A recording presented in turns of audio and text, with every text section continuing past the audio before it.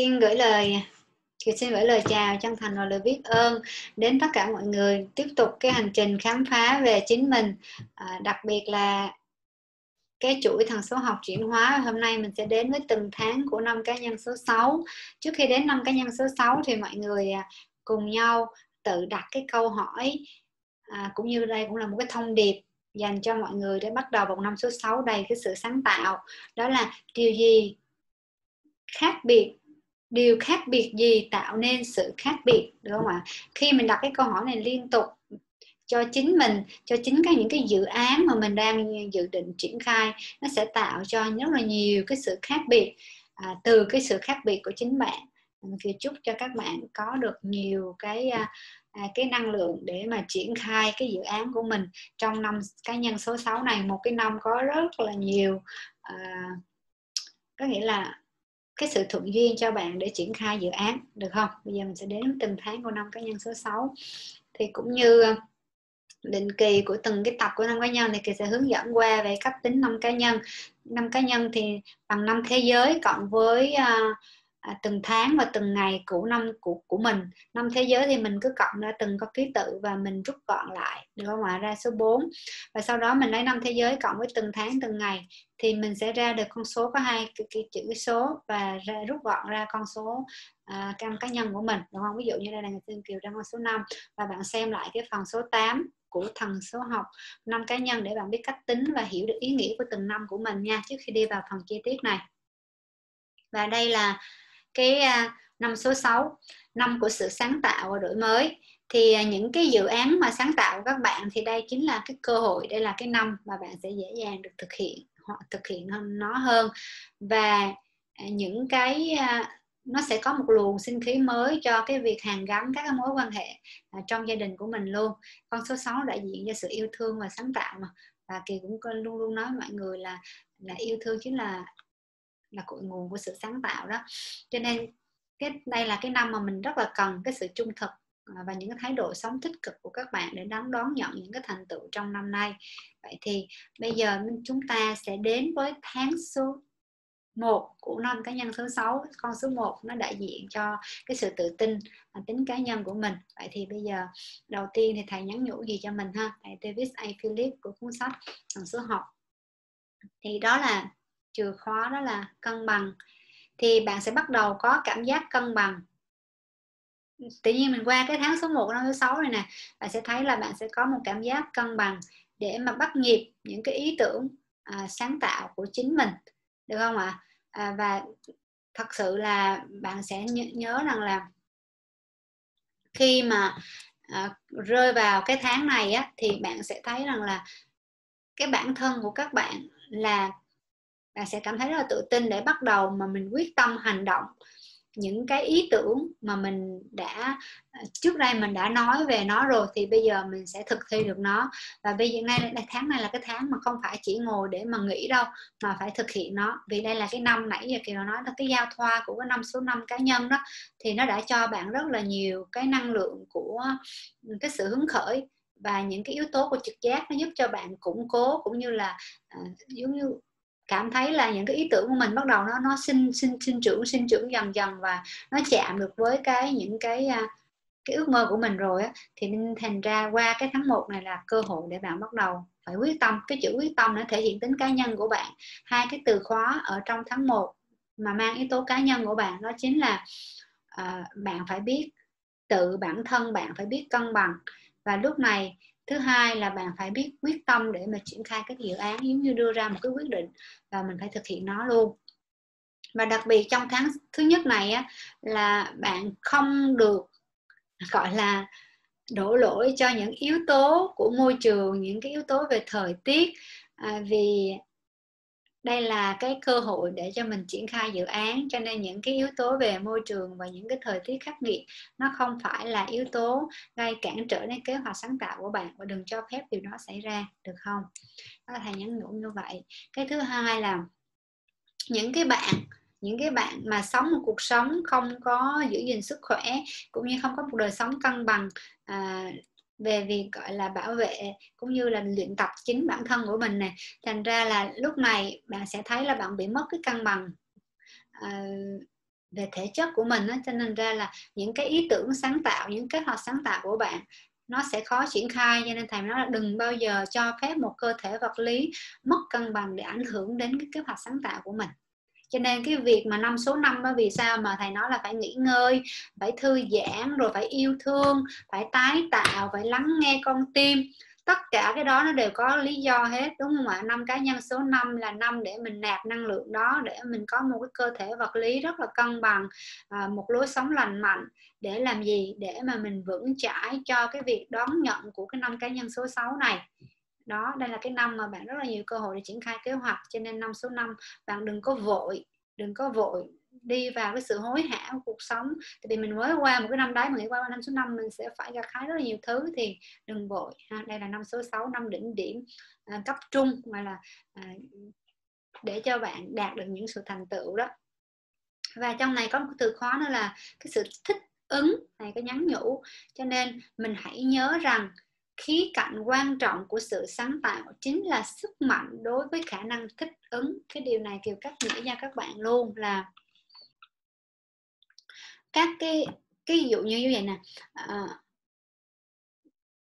mình cứ nghĩ rằng cái việc sáng tạo phải là một cái gì đó thật sự khác biệt thật sự đổi mới.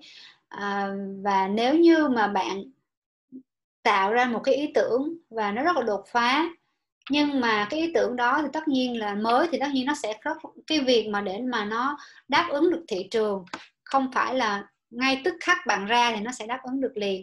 Thành ra là thầy mới nhắn nhủ mình là cái sức mạnh của ý tưởng đó là khả năng thích ứng, khả năng thích ứng thích ứng với môi trường, thích ứng với hoàn cảnh, thích ứng với cái phân khúc mà bạn nhắm đến. Thành ra là có khả năng thích ứng, khả năng phù hợp.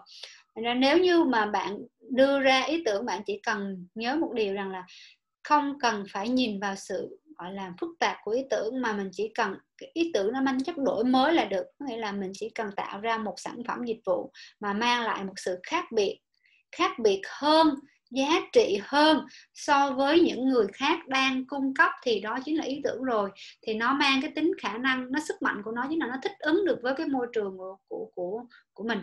Môi trường mà mình sẽ cung cấp mình sẽ nhắm đến là được chứ đừng có quá, gọi là, lo lắng là ý tưởng này nó có phải là nó phải thực sự mới lạ và khác biệt đến mức mà đừng có ai làm, ha. Chỉ cần nó thích ứng với môi trường, nó mang tính chất phù hợp, đổi mới và nó tương thích là được, thì đó chính là sức mạnh. Rồi, nhớ nha, cái tháng số 1 là rất là nhiều cái dự định và cho phép bạn rất là tự tin để mà triển khai những ý tưởng của chính mình luôn nên là, là hãy liệt kê nó ra và đừng quên lọc kế hoạch. Qua tháng thứ hai là cái tháng của trực giác đi thì bây giờ mình sẽ thấy rằng là à, cái nói yếu tố số 2 bắt đầu nó là, nó sự nó là sự phấn khích ha. Cho nên thành ra mình thấy số 1 mình đã lộ trình nè mình tự tin nè mình tìm những ý tưởng nó tạo cho mình một cái sự phù hợp mình tìm được phân khúc. Sau đây là bạn nhớ nha những cái bạn nào mà trong cái hành trình đang muốn khởi nghiệp và đang có ý tưởng kinh doanh thì cái phần năm cá nhân số 6 này những cái ý mà sáng tạo à, mà thầy đưa ra và kiều thêm vào những cái thông điệp và sự diễn dịch đó nó cũng là một cái cách để cho các bạn biết được cái lộ trình đi của một ý tưởng nó sẽ như thế nào. Mình nhớ đây là một cái năm rất là quan trọng à, cho cái, cái sự tỉnh thức để mà khởi lên một cái duyên đến với tạo ra một sản phẩm dịch vụ nào đó hoặc là một cái à, à lối sống mới của bạn nhanh tháng thứ hai thì cái sự phấn khích đó bắt đầu nó tăng hơn nữa. À, và đặc biệt là bạn sẽ biết cách để khám phá cảm xúc của mình một cách có chiều sâu hơn. À, cái cảm xúc này cái này năm sáng tạo mà năm tháng số 2 là tháng của trực giác thì bạn phải biết được rằng là bạn phải hiểu được chính mình phải hiểu được chính mình hiểu được cảm xúc của mình. Có nghĩa là gì đây? Kiều nói rõ hơn cho bạn hiểu cái thông điệp của thầy là giống như bạn đang có rất là nhiều ý tưởng, đúng không ạ? Nhưng mà bản thân bạn cũng bị rối với những nhiều ý tưởng đó của bạn. Thậm chí bạn không biết là nên triển khai cái gì trước, cái gì sau, cái nào là nó phù hợp với môi trường, cái nào nó có tính thương thích hơn, cái nào. Và bạn hay đặt, bạn không biết cách để chọn ra được. Cho nên thầy nói mình hãy, đây là cái tháng của trực giác, nên mình hãy quay về bên trong. Và mình mình sẽ hiểu được sâu sắc hơn về mình đang muốn gì, cái gì phù hợp với mình ý tưởng nào nó cần triển khai cho nên hãy biết lắng nghe và khám phá cái cảm xúc của bạn thay vì bạn đi đặt câu hỏi cho người khác và nhờ cái sự tư vấn. Và cái tháng này là cái tháng để bạn à, tự tin thể hiện à, cái cảm xúc của mình cho nên thầy nó cũng đừng có rụt rè và cũng đừng có gọi là rụt rè khi thể hiện cái sự cảm cảm xúc của mình. Ví dụ như à, bạn có một cái dự định một cái kế hoạch một cái sự sáng tạo có thể là bạn muốn có được một cái sự hợp tác à, với một ai đó để mình mình triển khai ý tưởng đúng không? Thì tháng số 1 là mình đã rất là tự tin rồi mình biết cách mình lên kế hoạch mình phân khúc mình biết thị trường này kia. Tháng số 2 nếu ý tưởng đó bạn muốn triển khai tốt thì đây là cái tháng số 2 nó đến sự hợp tác. Thì lúc này bạn cần biết được bạn khám phá cảm xúc để bạn biết bạn muốn gì, cần gì, sau đó bạn trở nên sâu sắc hơn. Lúc này bạn mới đầu nhận định được mình, sau đó bạn tìm được những cái mối quan hệ có thể đề cập, hợp tác với một ai đó để cùng triển khai ý tưởng của mình. Tại vì ý tưởng nó chỉ là không đồng khi bằng, nó chỉ nằm ở trong cái não của bạn. Nó chỉ nó chỉ có thể gọi là ý tưởng khi bạn triển khai ra thực tế thôi. Cho nên nếu bản thân của bạn suy nghĩ và có ý tưởng, nhưng bản thân bạn không biết cách để triển khai nó ra, mà một người nào đó là bạn của bạn, là partner của bạn, là đối tác của bạn, họ có khả năng để triển khai ý tưởng đó. Thì cái người quan trọng không phải là người nghĩ ra ý tưởng trước, mà người triển khai nó mới quan trọng. Cho nên trong một mối quan hệ hợp tác, khi bạn có ý tưởng, bạn phải tôn trọng cái người cùng triển khai ý tưởng với bạn. Chứ đừng có nghĩ tôi là người nghĩ ra ý tưởng nên nên tôi rất là đắt giá tại vì thật ra bản thân kiều đã tham gia một cái chương trình mang tính chương trình dạy về nhượng quyền và một thầy này ở nước ngoài về giảng thì thầy có chia sẻ một câu chuyện rất là hay. À, đó là ví dụ như cái cái cái cái bạn ái tắt kiểu nói với bạn luôn là có một người đến gặp thầy có một ý tưởng rất là hay. Cái người đó mới nói là mới mạnh dạng chia sẻ với thầy và người đó nói là ý tưởng này rất là đắt giá và và và thầy và thầy đừng có à, đi nói cái đứa ý tưởng này với ai hết. Và đây là bắt thầy phải ký vào một cái bản thỏa thuận là bảo mật à, giống như là bảo mật cái cái cái cái quyền cái là ý tưởng của, của người này á và nghĩ là nó rất là đắt giá.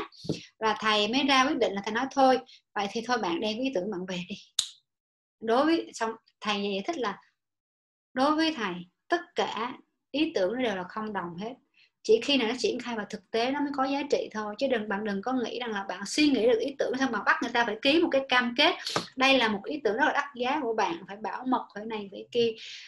Điều đó nó không có giá trị. À, bạn hãy nhớ nha bạn mạnh dạng chia sẻ tìm người hợp tác và người đó mới là người quan trọng để giúp cho ý tưởng mà được triển khai. Đừng có mang tính sở hữu ý tưởng ở đây nó không có giá trị khi nó không có sự hành động. Cho nên cái thông điệp ở đây là gì? Bạn phải biết hòa hợp vì ra tháng số 2 bạn phải biết hòa hợp với cái bản thể tinh khiết nhất của bạn để sáng tạo đến với các bạn trong sự hứng khởi khi bạn đủ giá trị. Và sáng tạo nó không đến thông qua cái tôi của bạn, mà nó đến thông qua trạng thái không biết gì của bạn, một trạng thái gọi là không giới hạn, một trạng thái bình an, một trạng thái không có bản ngã. Thì, tại vì ở trạng thái mà bạn mong muốn có sự đóng góp, cống hiến cho cộng đồng, thì đó chính là cái trạng thái bạn sẽ có những ý tưởng lớn thông qua bạn mà đến. Cho nên những người có trái tim phụng sự và cống hiến thì người này sẽ có rất nhiều ý tưởng lớn. Bạn hãy tin vào điều đó đi. Hãy biết cho đi dám cho đi thì ý tưởng sẽ đến với bạn. Và đến một tháng số 3 à, tháng số 3 của năm số 6 thì bạn biết rồi con số 3 là con số của nằm ở trục trí não và con số của rất là sáng sáng trí đầu minh định đúng không? Và lúc này bạn rất là đủ trí tuệ để bạn hiện thực hóa ước mơ của bạn. Và thậm chí thầy nói là là những ước mơ không tưởng luôn. Những ước mơ không tưởng luôn. Cái phần năm số 6 này kiểu rất là thích nó rất là nhiều thông điệp ha. Rồi à, tháng số 3 nhớ nha. À, cho nên thành ra là à, cái năm số 4 cá nhân mình bị năm đáy nhưng mình hãy củng cố ngồi à, xem là hết tất cả các hành trình trước đó. À, chuẩn bị cho một cái sự à, khởi sắc vào năm số 5 nhưng năm năm cá nhân số 5 cũng đừng có vội là mong muốn là đạt được cái sự cân bằng và thực triển khai kế hoạch liền, mà hãy ủ mưu ở đó, nạp năng lượng để cho có một cái một cái thể lý rất là cân bằng một tâm trí rất là sáng suốt để đón nhận một năm số số 6 này. Đây là cái năm đỉnh điểm cho cái sự bùng nổ những cái dự định của bạn. Cho nên tháng số 3 của năm số 6 chính là cái tháng cơ hội để hiện thực hóa những giấc mơ kiều cũng đang rất là nôn nóng để đợi chờ một cái à, tháng này. À, rồi tiếp tục là đây là một cái giai đoạn, một cái tháng rất là mạnh mẽ cho việc theo đuổi những dự án kinh doanh của bạn và bắt đầu từ tháng này cho đến cuối tháng 9 luôn. Được không? Đây là một cái, có nghĩa là bạn có từ tháng 3 đến tháng 9 là một cái tháng để bạn theo đuổi dự án kinh doanh của các bạn và bạn để bạn thực hiện nó, được không? Rồi. Và tiếp tục là, thầy nói là đây là bạn nên thực hiện những cái bản tuyên bố, những lời khẳng định và tự tin thực hiện nó. Ở đây à, à, kiều muốn ngừng lại để kiều nói các bạn là có bạn nào hay thường xuyên à, làm cái bản có nghĩa là cái cái cái bước các cái bước quy trình buổi sáng ví dụ như mình đọc những cái câu tuyên bố những cái câu khẳng định để mang nạp năng lượng cho chính mình đó thì à, đừng chần chờ gì nữa. Mình hãy ngồi làm ra một cái bản tuyên bố những cái lời khẳng định mang tính chất gọi là à, tích cực để cho bạn truyền năng lượng bằng mỗi buổi sáng. À, bạn đọc cái đó thì nó giống như là một cái cái tờ khẳng định mà nó mang tính chất còn nó kêu gọi nguồn lực cho bạn luôn á. Nhiều khi bạn sẽ cảm thấy rất là ờ, nó đến mà nhiều khi mình không có cưỡng lại được luôn. Có nghĩa thành ra là nó phải tích cực nha và cái này nó chỉ đến với những người có lối sống tích cực thôi chứ không phải là nó nó bị chi phối bởi những cái tâm tham. Luôn luôn phải có yếu tố cân bằng nhân và quả. Nhân yếu tố nhân quả phải có cho đi thì mới có gặt hái được. Nhưng bạn phải có một cái bản gọi là tuyên bố vào mỗi buổi sáng. Đặc biệt là trong cái năm cá nhân số 6 này nữa thì những cái dự định của các bạn bạn cứ làm bạn đọc mỗi buổi sáng cho kìa. Tại vì để cái nguồn lực nó đến kịp thời cho những cái sự triển khai kế hoạch của các bạn nha. Rồi. À, và tháng số 4 của năm cá nhân số 6 thì à, đây là một cái tháng số 4 mà nói đến sự hành động đúng không? Vậy thì hãy tự tin hành động nhưng luôn luôn trong sự kiểm soát và ôn hòa thầy nhắn mình như vậy. Đó có nghĩa rằng là lúc này là bạn những cái gì bạn làm được à, bạn đã suy nghĩ thì tháng thứ ba nó là cơ hội để bạn triển khai. Và những cái thậm chí là nó sẽ nó không tưởng luôn bạn cũng có thể triển khai à, được cơ hội nó dễ dàng hơn cho bạn vào tháng 3 và tháng thứ tư này là bạn tiếp tục có rất là nhiều cái cơ hội để hành động. Nhưng thầy nói, mình phải kiểm soát, nghĩa là không được quá liều lĩnh và luôn luôn ôn hòa, luôn luôn phải biết cách kiểm soát, cân bằng à, cảm xúc, trí não của mình. Đừng có đi theo dòng chảy mà làm cho cái thần kinh mình nó căng thẳng. Vì tháng này rất là nhiều cái hành động sẽ được triển khai và bạn phải biết cách để tổ chức nó được tốt hơn và đồng thời là chúc mừng cho các bạn là tháng này là tháng gặt hái về tài chính của bạn. À, lúc này bạn sẽ được cái đền đáp những cái cố gắng của bạn à, những sự thịnh vượng tài chính được được đến đá, đền đáp.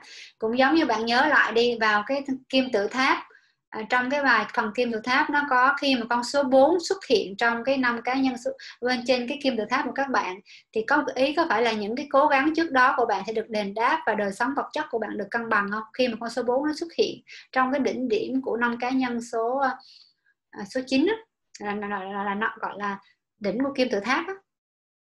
vậy thì cái cái cái năm cá nhân số 6 này cũng là một đỉnh một đỉnh trưởng thành của bạn nhưng một đỉnh cấp trung thôi ha trước khi đến với năm số 9 vậy thì cái tháng tháng số 4 của năm cá nhân số 6 này chính là cái lúc bạn sẽ có rất nhiều sự đền đáp cho những sự cố gắng của bạn trước đó. Và thông điệp là luôn luôn phải biết cân bằng cuộc sống và ôn hòa. Đừng có đi theo cái cái cái cái sự nhộn nhịp quá của cái sự hành động để thực triển khai ý tưởng mà không biết chăm sóc cho cái uh, sự uh, À, sự thư thần kinh của mình cũng như là cho mình phép mình thư giãn và có một lối sống lành mạnh. Nha cả mọi người. Và một thông điệp kỳ muốn nhắn gửi đến mọi người đó là nơi nào có tình thương thì nơi đó là cội nguồn của sự sáng tạo. Hãy luôn luôn sinh khởi cái tình thương của mình à, thì bản thân của các bạn sẽ đầy đủ à, những cái năng lượng phước lành này lúc này bạn sẽ có rất là nhiều ý tưởng để đổi mới, để cải cách cho cuộc sống của chính mình. Đặc biệt là những cái bạn có những cái sứ mệnh cao cả hơn, có những cái sự đóng góp trọng đại hơn, thì bạn sẽ có nhiều cái sự hứng khởi, những thông điệp sẽ đến thông qua bạn mà đến. Thì chúc cho các bạn có những ý tưởng chất lượng và đóng góp cho cuộc sống này nhiều hơn ha. Và mình đến với tháng số 5 của năm số 6 con số 5 à, con số 5 là con số của à, việc rất là hứng khởi đúng không? Và sự tự tin. À, đâu đó là một sự tỉnh thức. Vậy thì ở trong cái tháng số 5 này bạn sẽ được cái chìa khóa đó là sự thành công à, khi mà tháng số 4 bạn sẽ rất là hành động và bạn có cái cơ hội để triển khai các cái dự án và bạn đạt được cái, những cái sự đền đáp cố gắng của bạn. Và tháng số 5 này nó tiếp tục cho bạn được cái sự gặt hái những thành công của bạn. Và khi này bạn rất là tự tin đặc biệt là trong tháng thứ năm này bạn rất là tự tin tự tin thể hiện. À, và vì cái tính tự tin thể hiện này và những thành công bạn đang ngủ trên cái vinh quang thành ra thầy có nhắn là hãy để ý cái bản ngã của mình nha. Có nghĩa là lúc này kiều dịch thoát nghĩ là kiều dùng cái ngôn từ là bắt thoát chính mình. Có nghĩa là mình luôn luôn phải nhận diện mình á để mà đừng có cái bản ngã này nó nổi loạn lên. À, thì vì khi mà cái bản ngã nó tăng thì trí tuệ mình nó sẽ đi xuống đó. À, lúc này sáng tạo nó sẽ không còn chất lượng nữa. Rồi một thông điệp nữa đó là hãy nhạy cảm. Cái sự nhạy cảm có nghĩa là mình mình luôn luôn à, lúc này tháng 5 là cái tháng vì con người số 5 là con người rất là dồi dào cảm xúc. Cho nên à, cái tháng số 5 của năm số 6 là tại vì năm của sáng tạo nữa cho nên bạn rất là nhiều cái sự nhạy cảm. Cho nên bạn rất là dễ bạn cũng nhận biết được các cảm xúc thậm chí nhận biết được cảm xúc của những người xung quanh. Cái lời nhắn ở đây là hãy biết cách học cách quản trị được cảm xúc của chính mình được không? Đừng cho để bị à, cái sự nhận biết của mình nó làm chi phối đến mình. À, và phải biết cân bằng. Và ở đây tháng thứ năm thầy có nhắn gửi một cái từ khóa đó là lòng trắc ẩn lòng trắc ẩn. Thì uh, kiều uh, có bằng cái sự hiểu cũng như là sự tham khảo những cái nguồn thông tin về lòng trắc ẩn thì kiều chia sẻ thêm cho mọi người để hiểu hơn về cách ứng dụng cái lòng trắc ẩn này. Có nghĩa là lòng lòng trắc ẩn của mọi người á à, chính là chất xúc tác tuyệt vời để mà chúng ta có thể thấu cảm được lẫn nhau. Và chúng ta sẽ bao dung và biết tôn trọng cái thế giới quan của người khác hơn à, và khi bạn bao dung và tôn trọng thế giới quan của người khác chính là cách bạn đối xử với chính mình khôn ngoan nhất. Đây là cái thông điệp kiều nhắn gửi cho chính các bạn. Đây là kiều rút trích ra bản thân kiều để kiều rút kết và kiều gửi cho các bạn là khi mà bạn bao dung và bạn biết tôn trọng thế giới quan của người khác chính là lúc chính là cái cách mà bạn đối xử với bạn khôn ngoan nhất. Thành ra là mỗi người đều nếu bằng cái góc nhìn của mình mà mình nhìn vào người khác mà mình không nhìn bằng mình không dùng cái mình không có cái lòng trắc ẩn để mà thấu cảm hiểu biết lẫn nhau thì lúc này mình sẽ có rất là nhiều cái sự phán xét và mình không có biết tha thứ. Thì đây là cũng là cái cách mà bạn không biết cách để mà đối xử à, gọi là không biết tôn trọng chính mình đó. Thành ra là kỳ nghĩ ngay cái tháng số 5 này nó sẽ rất là nhiều cảm xúc cho nên luôn luôn phải quan sát chính mình và phải sử dụng cái lòng trắc ẩn để là chất xúc tác tuyệt vời để bạn thấu hiểu và có một cuộc sống nó an lạc hơn nha. À, tháng số 6 thì đây là cái câu mà trích nguyên văn ở trong sách của thầy luôn. Thầy à, ghi là à, ngay cả bầu trời còn cũng không phải là giới hạn. À, thì cái này kiểu các nghĩa à, các nghĩa theo cái sự hiểu. Đó là chẳng có gì có thể giới hạn ước mơ và thành quả của bạn cả. Có nghĩa là cái tháng 6 và kết hợp hai năng lượng của con số 6 là bạn sẽ thấy cái sự sáng tạo của bạn và cái sáng tạo nó sẽ vượt nó sẽ rất là lớn. Mà đâu đó bạn nghĩ cái khả năng của mình à, cái giới hạn bạn à, không đạt được nó chẳng hạn đi nhưng mà thầy nhắn nhủ là ngay cả bầu trời cũng không có giới phải là giới hạn. Điều này có nghĩa rằng là à, bạn đừng có không có gì có thể giới hạn được ước mơ của bạn. Và cái điều mà giới hạn bạn chỉ là, chính là suy nghĩ của bạn mà thôi, nghĩa là cái đầu của bạn mà thôi. Nên thành ra là hãy cho phép mình tin tưởng và tuôn chảy vào cái khả năng sức mạnh của chính mình. Nó không có giới hạn đâu. Khi bạn tin vào điều này thì bạn sẽ có một cái trí tuệ à, rất là lớn để mà triển khai các cái dự án của chính mình. Và một cái thông điệp nữa là à, đây là cái tháng cao điểm của nhất của năm số 6 à, à, cao điểm nhất của năm số 6 thành ra là vì nó hội tụ cả hai con số 6 cho nên cái tính đổi mới và sáng tạo của bạn sẽ rất là cao trong tháng này. Cho nên nó cần cái sức mạnh niềm tin của bạn rất là nhiều ở trong cái tháng này. Được không? Cho nên mọi người hãy tin vào cái năng lực mình mới có sử dụng trung bình có 10% sức mạnh của não bộ thôi mình còn rất rất là nhiều à, cái cái sức mạnh mà mình chưa nhìn thấy nên hãy tin đi rồi bạn sẽ thấy.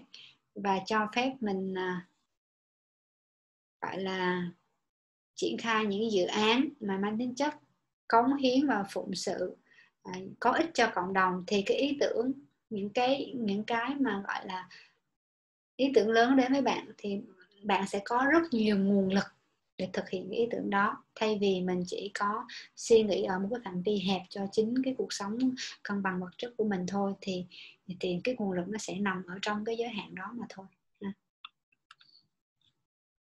Rồi cái tháng à, số 6 nó còn ý nữa đó là đây là một cái tháng mà rất đáng kinh ngạc cho nên bạn, thầy mới nói rằng là bạn càng tích cực bao nhiêu thì thành công của bạn sẽ đáng kinh ngạc bấy nhiêu.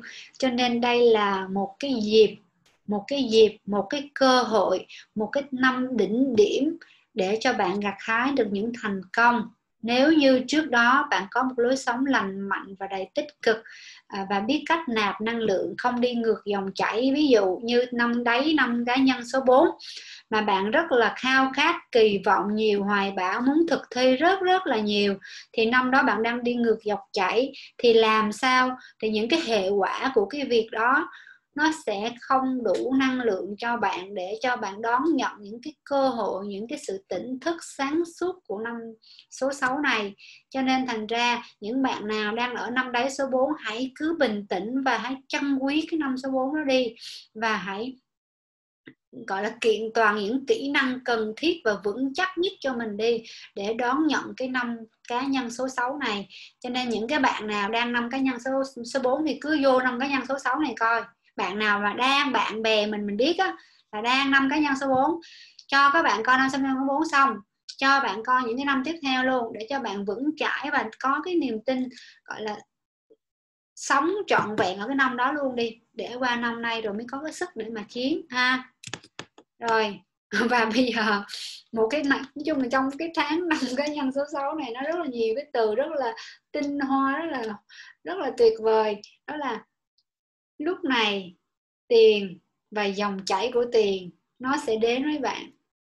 Cho nên thành ra cái thông điệp kiều kiều nhắn với các bạn thầy thì, thì thầy thì, tiếng anh thì chỉ nói là à, cái uh, money flow thôi. Thế thành ra là kiều dịch ra là và bạn biết rằng là thầy nói là những cái người nào sống tích cực thì mới mới nhận được thành công đúng không? Thì kiều mới chuyển hóa cái ngôn từ để truyền cảm hứng với các bạn. Đó là bạn đủ giá trị thì tiền sẽ đến với bạn. Hãy nó sẽ tuôn chảy tuôn chảy luôn. Thành ra là à, bạn không có phải là bạn đi kiếm tiền mà tiền là thước đo giá trị của bạn. Cho nên bạn đủ giá trị thì tiền sẽ đến với bạn. À, cái bí mật của người do thái dạy con của họ là uh, họ họ họ dạy con họ theo cái cách là tiền là thước đo giá trị. Cho nên thành ra đó là một cái và luôn luôn họ có những cái, nếu như gọi là có những cái văn hóa, ví dụ liếm sách nè, để kệ sách trên đầu giường nè, họ luôn luôn cho con họ những cái thói quen lành mạnh và tốt, đầy trí tuệ từ nhỏ, và họ luôn luôn nói về cái đồng tiền. Nó như là một mối quan hệ với đồng tiền, một mối quan hệ rất là dễ thương, rất là tôn trọng với cái đồng tiền, và thậm chí mình tôn trọng với chính mình luôn. Cho nên thành ra một quốc gia nó có được sự thịnh vượng, đúng không ạ? Thì bây giờ chúng ta hãy thay đổi cái tư duy này là chúng ta không phải là chúng ta à, có những cái niềm tin về tiền á. À, ví dụ như này có thể là cốt thêm cho các bạn một chút cũng như là có những cái niềm tin. Ở đây nè à, để cho mình có được cái sự thịnh vượng về tài chính thì ví dụ như bản thân kiều khi mà kiều là à, mình tự cài đặt cho mình những cái niềm tin như vậy đó cho nên thành ra mình có những cái niềm giới hạn giới hạn về tiền với mối quan hệ thành ra mình bắt đầu mình, bắt đầu mình quan sát là mình, bắt đầu mình quan sát lại thì mình bắt đầu mình gỡ bỏ đi cái niềm tin đó. Bây giờ dần dần dần dần mình mới có được cái cái sự yêu quý về, mình coi tiền như một mối quan hệ rất là dễ thương. Và mình biết mình tái cài đặt lại là tiền là thước đo giá trị của mình, chứ không phải mình làm để mình kiếm tiền mà mình đủ giá trị, tiền sẽ tự động đến vào túi của mình. Cho nên kiểu nói các bạn à, ở cái tháng số 6 của năm số 6 à, hãy tận hưởng tiếp tục ha hãy tận hưởng sự chưa giàu có của mình đi vì sự giàu có sẽ đến bất kỳ lúc nào. Ở đây không có nghĩa rằng là bạn tham lam trong cái việc là bạn mong muốn tận hưởng cuộc sống quá thịnh vượng mà nó không đi theo cái quy luật của nhân quả. Phải có cái sự cố gắng trước đây à, và sống một cái lối sống tích cực lành mạnh. Biết cho đi thì đây chính là cái lúc bạn mới nhận được cái thành quả được không ạ? À? rồi một điều rằng là cái năm tiếp tục vào cái tháng số 7 à, số 7 thì thầy có nói một cái thông điệp nguyên văn đó là ngừng ảo tưởng đi nào. Ngừng ảo tưởng đi nào nghĩa là hãy quay về thực tế. À, đây là một tháng rất là thực tế tháng à, của cái việc phải biết cách ổn định và củng cố lại mọi thứ con số 7 ha. À, thì mình đã có một cái hành trình mơ mộng rồi triển khai ồ ạt rồi có rất là nhiều cái sự thành tựu vào vào cái tháng số 6 sự đầy đủ về tài chính à, thịnh vượng hơn. Thì bây giờ thì tháng này thầy nói mình phải ngừng lại để củng cố và sắp xếp tổ chức lại để chuẩn bị một cái nền tảng cho cái tháng à, những cái tháng tiếp theo. Và đồng thời là tìm những cái mắt xích lỏng lẻo ha, còn gắn kết nó lại, đảm bảo một nền tảng cho sự đột phá mới. Và tiếp tục cái câu hỏi mà kiều trao gửi với mọi người đó là à, ý tưởng mình tự đặt cho mình luôn ha. Ý tưởng của tôi còn chỗ nào cần tôi hoàn thiện không? Và giúp nó chặt chẽ hơn không? Thì lúc này để mà mình củng cố tốt á, mình đặt cái câu hỏi này cho chính mình luôn.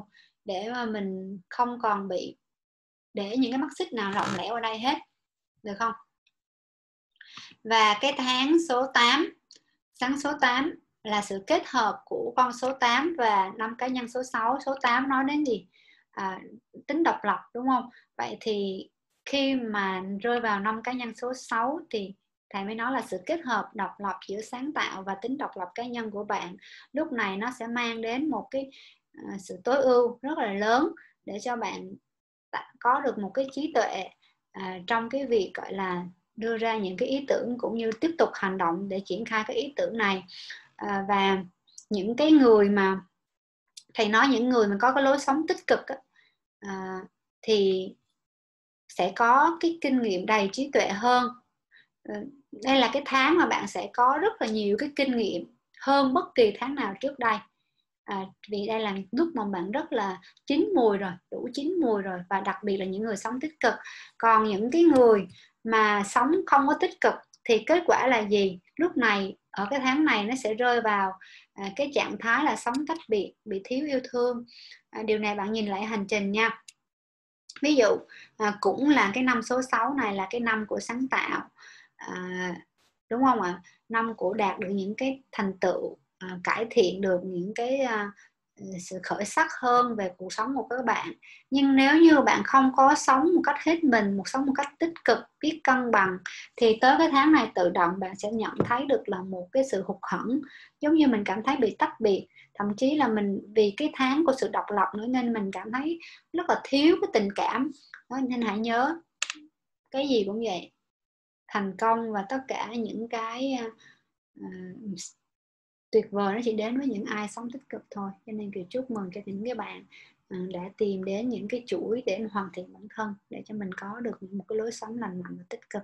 Cho nên cái thông điệp ở đây uh, kiều nhắn gửi mọi người đó là thái độ của bạn quyết định thành công của bạn.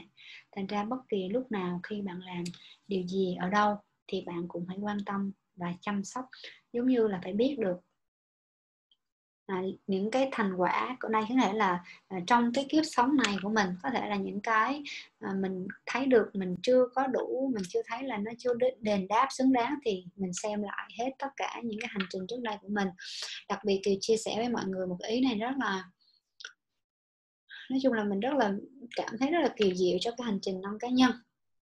Bạn nhớ nha à, đây là năm nay là năm kiều đang là số 5 thì năm sau là số 6 nhưng đồng nghĩa với việc kiều truy lại à, cái năm 2012 đó các anh chị. À, trước đó là kiều là năm số 6 thì kiều quay lại cái quá khứ kiều xem cái năm số 6 đó trong quá khứ của kiều đã điều gì đã xảy ra. Tuyệt vời là gì?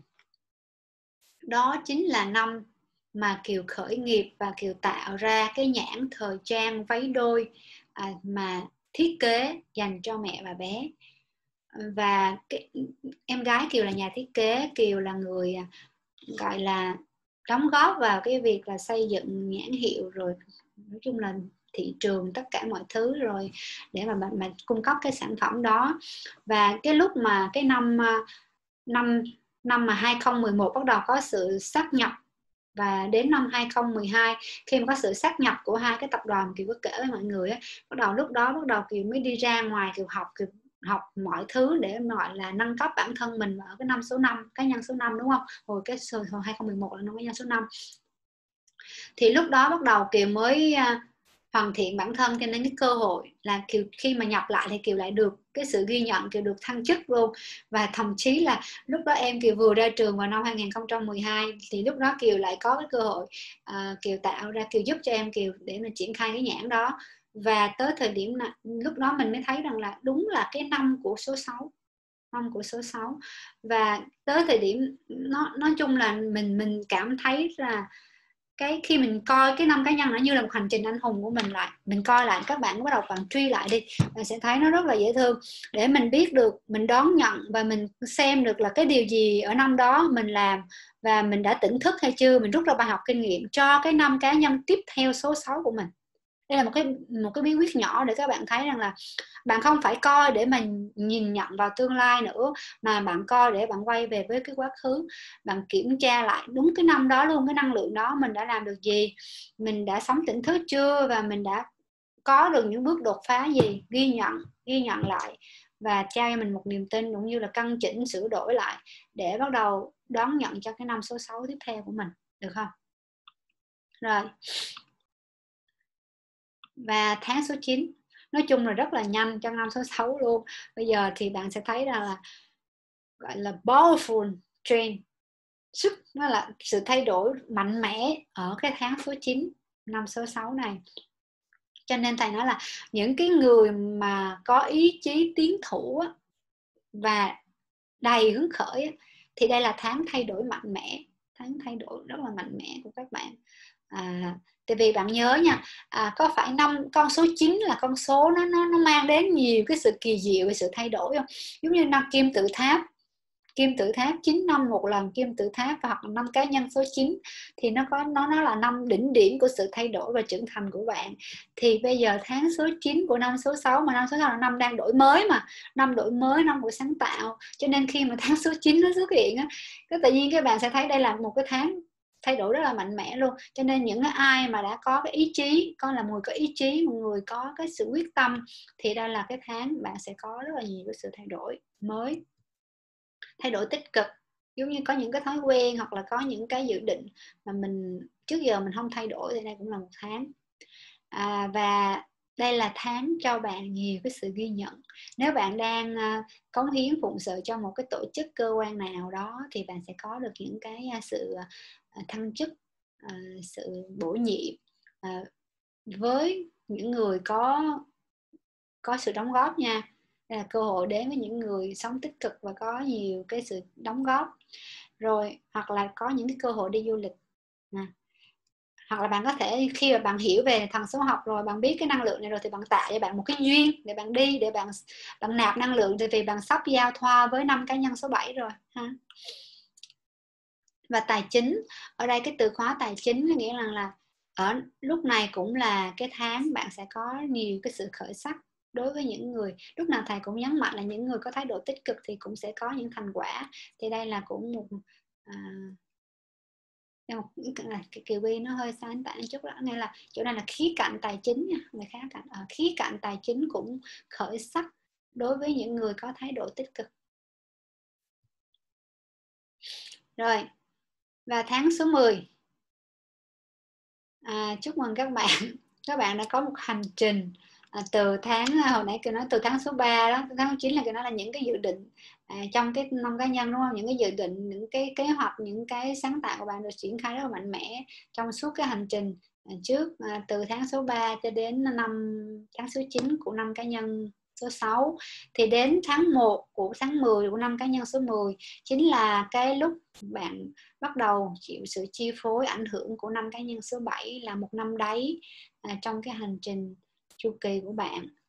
Thì lúc này à, bạn cần phải rõ ràng ha, và nó là mọi thứ phải cần rõ ràng.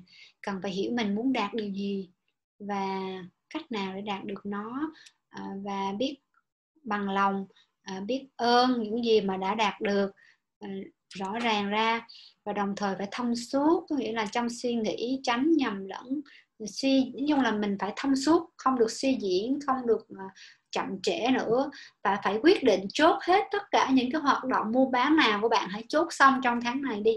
Như là nó là phải thông suốt và sáng suốt để mà quyết định những cái gì mà còn thì ạch chưa giải quyết thì chốt luôn trong tháng 10 này và đồng thời biết ơn những gì đã đạt được và sẵn sàng quay về luyện nội lực và củng cố thông điệp này thì kiều dành gửi cho các bạn. À, tại vì mình đã có một cái lộ trình rất là nhiều nhận rất là nhiều cái nguồn lực à, à, từ cái năng lượng của năm cá nhân số 6 tạo duyên cho bạn tạo cơ hội cho bạn.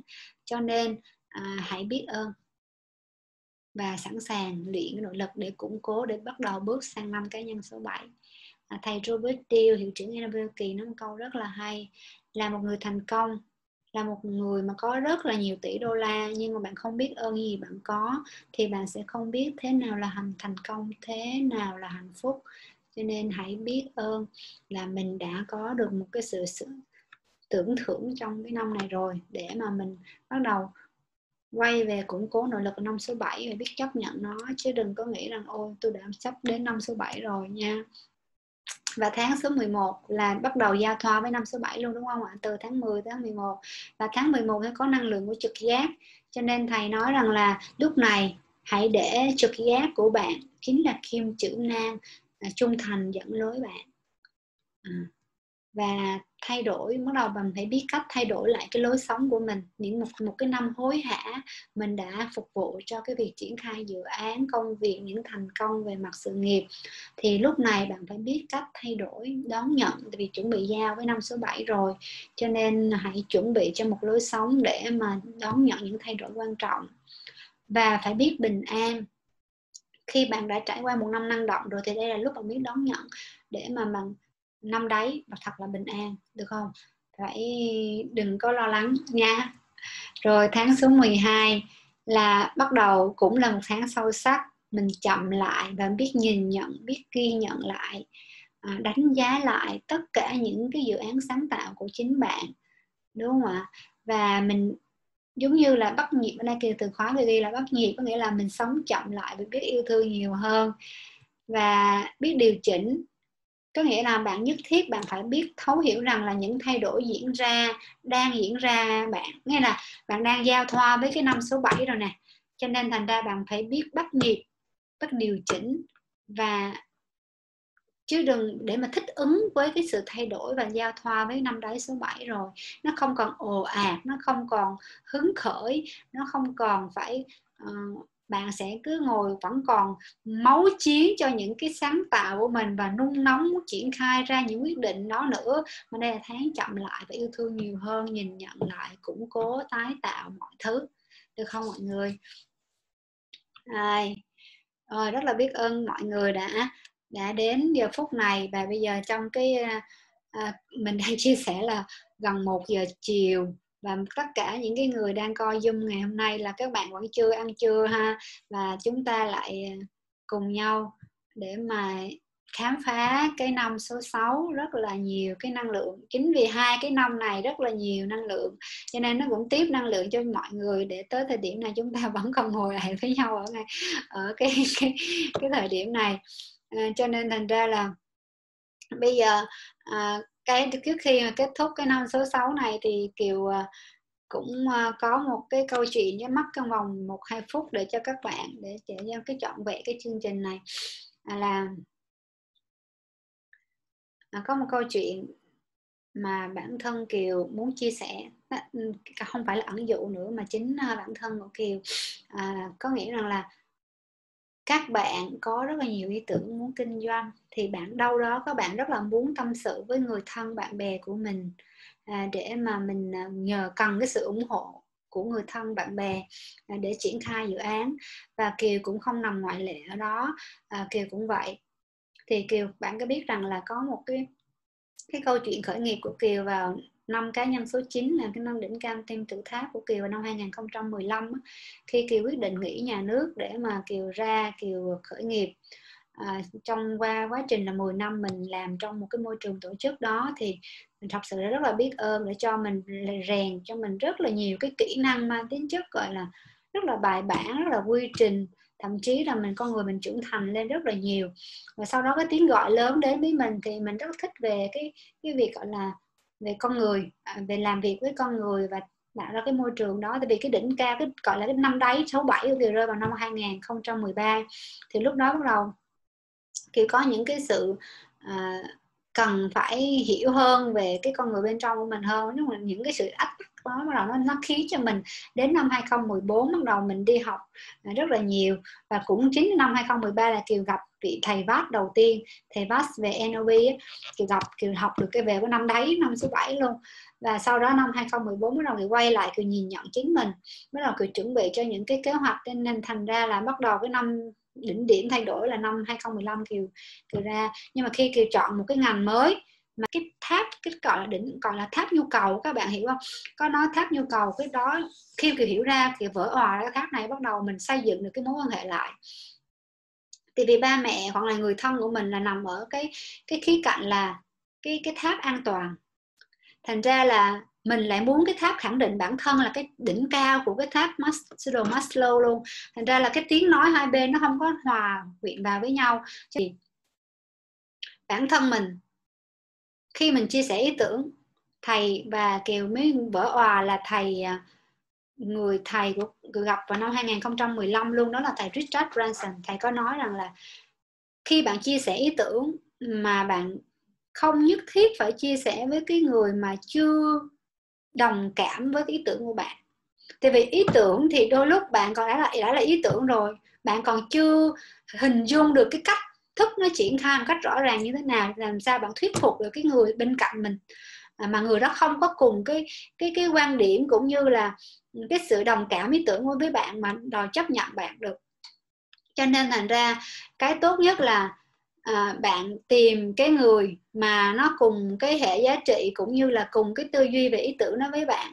À, và bản thân bạn phải rõ ràng cái ý tưởng đó trước. Bạn phải rõ ràng ý tưởng trước phải quan sát chính mình phải nâng cấp mình để mình biết là mình thật sự chắc với ý tưởng đó trước trước khi bạn chia sẻ với bất kỳ ai. Thì lúc này bạn sẽ không bị Ờ, lúc này cái hành trình, cái người đó đi cùng với bạn nó sẽ xa hơn. Thay vì bạn cứ chập giật á, mới nghĩ đến ý tưởng cái cái ngồi chia sẻ liền, thậm chí là tìm những người nào gần nhất của mình chia sẻ, đúng không? Cái là người đó lại không có có có có ủng hộ cái là bị, thậm chí bạn cũng không đủ định lực nữa thì coi như bạn thấy bắt bạn bị dập tắt luôn. Cho nên ở đây là một cái kiểu nói đến cho bạn thấy được là là để cho bạn có được một cái niềm tin à, và cũng không nhất thiết là phải khởi nghiệp thì mới thành công mới gọi là đi đúng lẽ sống đam mê của mình. Mà quan trọng là gì? Không quan trọng bạn làm ở đâu quan trọng là bạn làm cái gì và cái đó nó có phù hợp với bạn hay không.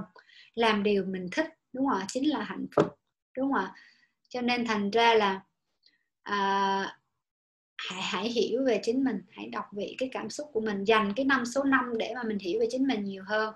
À, để từ đó cái năm số 6 bạn sẽ có cái những cái quyết định sáng suốt à, tốt hơn cho cái việc thực hành ý tưởng của mình. Được không các bạn? À, thì đây tôi nhắn gửi cho các bạn. À, có những cái câu chuyện rất là hay về ý tưởng. Ví dụ như có câu chuyện là bán cái máy lạnh ở bắc cực.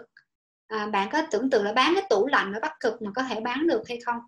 Thì cho nên chỉ cần khi mình ra một ý tưởng, mình chỉ cần biết được cái, gọi là, cái chìa khóa, gọi là cái USB cái, gọi là, cái lợi thế, cái lợi điểm nhất của chính sản phẩm của mình. Và mình lấy, có nghĩa là mình nghĩ đến khách hàng của mình thôi. Có nghĩa là dụ bán tủ lạnh ở bắc cực, nghĩa là người này không có quảng cáo cái tủ lạnh của mình. Tủ lạnh của mình có ngành về cái lợi thế của cái tủ lạnh là làm đông làm đông ờ, gọi là, cấp đông sản phẩm. Thì vì bên đó, cái bắc cực nó rất là đông và cần gì mà phải nói với cái sản phẩm đó. Nhưng ông này, ông vẫn có thể bán cái tủ lạnh ở bắc cực bằng cách là ông sẽ nói, ông sẽ hiểu được cái tâm lý của cái người, cái nhu cầu gì ở cái bắc cực đó họ cần. Bắt đầu ổng mới nhắm mạnh vào cái lợi điểm đó để ổng quảng cáo thì ổng đã bán được cái tủ lạnh ở bắc cực bằng cách ổng nói là tủ lạnh làm giữ được thức ăn tươi và bạn không phải mất quá nhiều thời gian để rã đông. À, thức ăn thông do bạn ở tuyết, bạn rã đông rất là lâu. Còn cái này là giữ thức ăn tươi, bạn không phải mất quá nhiều thời gian để rã đông. Nghĩa là quan trọng ở đây, câu chuyện nhắn nhủ là bất kỳ khi nào bạn ra làm một sản phẩm nào đó, bạn muốn quảng cáo sản phẩm, hãy nhìn vào cái nhu cầu của khách hàng, muốn cái gì để mà mình nhắm tới chứ không phải dựa vào cái, gọi là, cái mà mình đang có. Thì bạn sẽ dễ dàng hơn. Cái ý cái ý như thông điệp thứ hai là hãy chắc chắn về ý tưởng của mình, hãy biết được cảm xúc mình muốn gì, cần gì, có một lộ trình triển khai rõ ràng cụ thể và tìm những cái người mà cùng hệ giá trị, cùng cảm được đồng với cái ý tưởng của bạn, thậm chí đến những cái khóa học để gặp những người cùng hệ tư duy hơn, để mình rõ ràng, chắc chắn một trăm phần trăm với ý tưởng của mình để triển khai. Sau khi mình thử nghiệm, có một thời gian thử nghiệm rồi, tốt, thì hẳn mới đầu tâm sự với những người mà bạn cần tâm sự.